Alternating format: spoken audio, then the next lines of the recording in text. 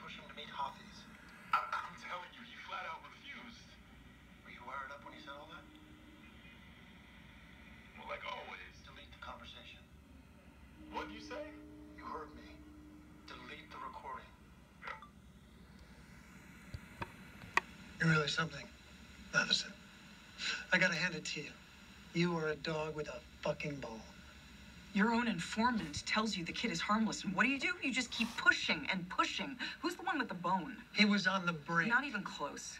Even if he was, when do we start arresting people for crimes they might commit? Somewhere between 9 11 and Orlando. Is that also when we start fabricating evidence and obstructing justice?